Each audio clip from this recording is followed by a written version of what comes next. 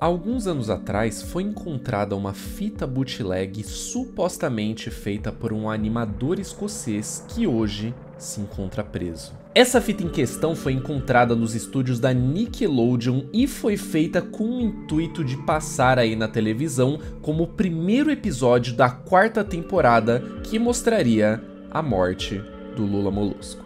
E essa fita, senhoras e senhores, se chama Red Mist também traduzido aí para névoa vermelha.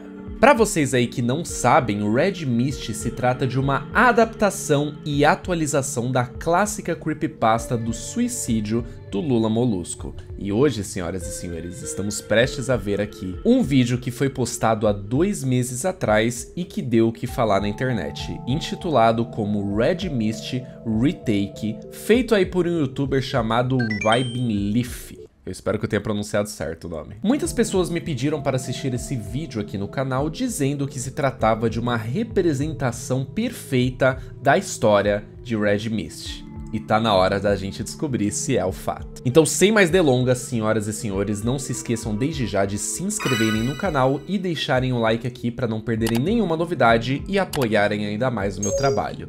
Dito isso, vamos partir direto para os pesadelos.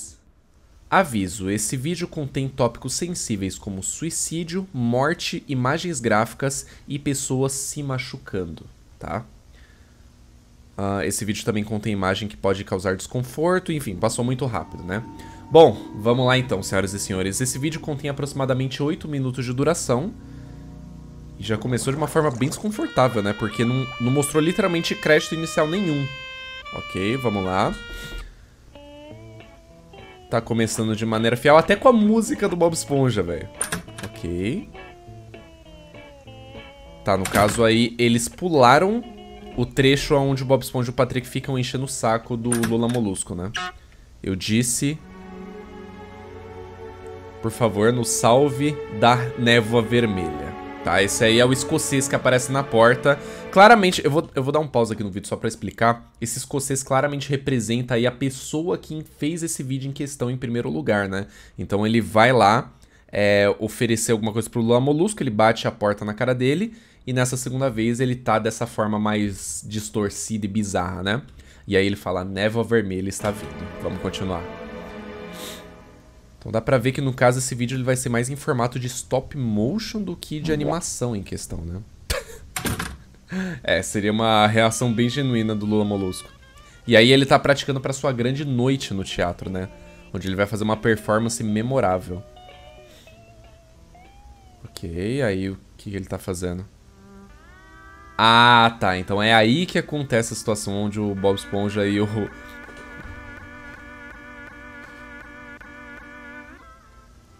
Tá, isso, isso, isso, aí eu não... Isso eu não tava ligado, não. Então já dá pra ver que a gente vai ter algumas liberdades criativas bem bacanas aqui. E é toda a fila de pessoas entrando lá pra ver a apresentação do Lula Molusco. Mano, que diabo foi aquilo? Me pegou muito desprevenido, velho. E aí, obviamente, ele tá extremamente inseguro pra fazer essa apresentação, né? Cara, a trilha sonora, os efeitos, assim, tá bem bacana, né? Uh, senhoras e senhores, a, Fenda do, a comunidade da Fenda do Biquíni apresenta, o centro comunitário né, da Fenda do Biquíni apresenta Lula Molusco Tentáculos. Obrigado, obrigado a todos por virem aqui. E eu espero que vocês tenham um ótimo show juntos hoje à noite. Dá pra ver que a galera tá amando. Hã? Certo. Tá, acho que foi alguém tossindo na plateia, né? Que falta de respeito. Nossa, primeira nota já começaram a vaiar, mano. Que bando de filha da mãe, velho. Galera chata, desgraçada, velho. E aí foram embora. E o Lula Molusco ficou, obviamente, traumatizado games, velho. Eles tiraram um detalhe dessa cena, né? As pessoas não apareceram com o olho vermelho na plateia, né? E o Lula Molusco e o Patrick... Aliás, o Bob Esponja e o Patrick, eles não estavam na plateia, né? Tem que fazer essa barba, hein, o Lula Molusco. Parece que ele tá pelado nesse frame, mano. E aí ele volta pra casa extremamente desanimado, com a finalidade de acabar com a vida dele. É bem, bem pesada essa creepypasta. Uma creepypasta antiga, mas é bem pesada até hoje. Tá, temos uma tela preta toda bugada. Ah, olha só, a névoa vermelha chegou, velho. A névoa vermelha chegou na fenda do biquíni, meu nobre. Isso pegou meio mal, né? A névoa vermelha já chegou na fenda do biquíni. Normalmente isso só acontece uma vez por mês, né? Quem entendeu, entendeu. Não vou explicar aqui. Deixa passar, deixa passar. Vambora. Desculpa, eu não resisti, velho. Tá, ele tá vendo alguma coisa lá fora. E eu não consegui identificar o que que é. Nossa, não, não me vem me olhar com esses... Ai! Tá peste! Não, pera, pera. Caraca. Hum. Mano, mano, o, o, o que que aconteceu aqui, velho? Que frame foi esse? Pa passou por... Nossa senhora, velho, ele virou... Ele virou um gato pelado, mano, por um frame, irmão. Ele fica sorrindo. Parece ter uma imagem de alguém morto. Bob Esponja morto, talvez, não sei. Tem umas manchas de sangue, aparentemente, no chão. É porque eu sei que na Creepypasta original apareciam umas fotos de pessoas, crianças mortas. É extremamente pesado, tá ligado? Só que isso eu acho que não passou pro, pra Creepypasta do Red Mist. Nossa, velho. Nossa, mano. Ah! Ai, cacete, Mickey Mouse. Jesus, mano. Tá, parece uma outra imagem censurada, na real. Será que isso aí representa, sei lá, talvez a depressão dele? Representada em um formato fantasmagórico, né? Poxa, parece um elevador aí, o Lula Molusco. Parece os jogos de terror do Bob Esponja, que ele tem um elevador em casa, mano. Eu não lembro de ter visto isso nos desenhos. Tá, ele tem uma shotgun do lado... do lado da, do, da prática... Mano, eu queria muito saber o que, que tá aparecendo, mas eu não consigo identificar nada. Meu Deus! Carregou e atirou, velho. Essa era a terceira imagem, tinha um três ali embaixo. Nossa senhora, velho. Meu Deus do céu. Nossa, que desconforto isso aqui, velho. Não sei porque eu achei mais Ixi.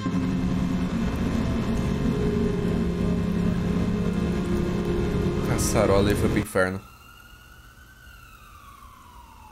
Nossa, então Bob Esponja ele achou Lula Molusco. Daí pra frente já não tem na, na Creepypasta. Isso aí é novo do vídeo.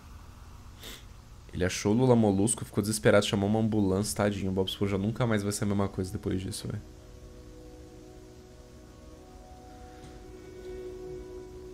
Que isso, mano? Ele tá no corpo do Patrick? Olha o Patrick aí. Ei, amigo. Oi, Patrick. Escute, às vezes um peixe não quer viver e pode ser por qualquer razão. Sinto muito que tinha que ser o Lula Molusco. Saiba que eu estou aqui por você, carinha. Ele dá uma suspirada. Obrigado, Patrick. Sabe, realmente aprecio ser o seu amigo e eu nunca quero perder você. Queria ter dito isso pro Lula Molusco também. Ter sido um amigo melhor. Eu entendo você, carinha. Eu entendo você.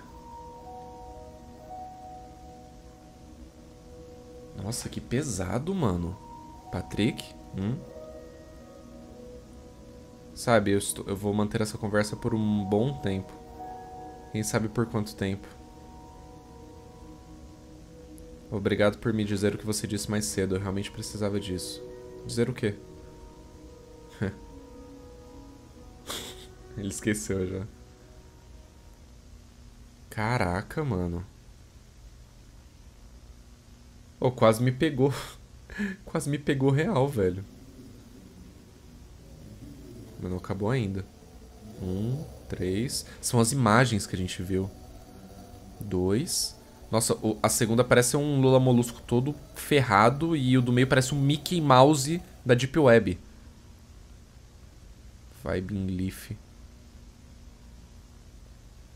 Obrigado por ajudar com... Meu amigo... Meu amigo... Ok, galera, eu confesso pra vocês aí que desde a primeira vez que eu li essa creepypasta, eu sempre vi essa história como uma espécie de é, gore porn, se é que você pode falar dessa forma, né? No caso, é um monte de gore gratuito, umas imagens aparecendo e tudo mais, e fica por isso mesmo, né? Mas esse vídeo, especificamente, ele dá um tom muito mais sério pra isso aqui, né? No caso, ele demonstra aí como a depressão pode afetar uma pessoa e o que acontece depois que uma pessoa se vai, né? No caso, o Lula Molusco ele se foi por conta da, de toda a sua ansiedade e depressão, que se manifestou na forma daqueles demônios e daquele terror e daqueles chiados e tudo mais.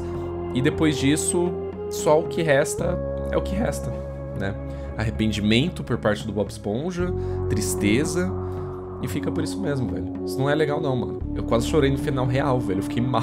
Eu fiquei mal mesmo, velho. Não é nem meme. Cara, sensacional, velho. Honestamente, eu não tenho nenhuma outra forma de colocar isso a não ser sensacional, velho. Fantástico. Eu achei muito legal. Obviamente, né, que os traços e tudo mais, algumas animações são mais simples do que convencional. Afinal de contas, é um vídeo no YouTube, tá? Mas, cara, é um vídeo que não deixou a desejar.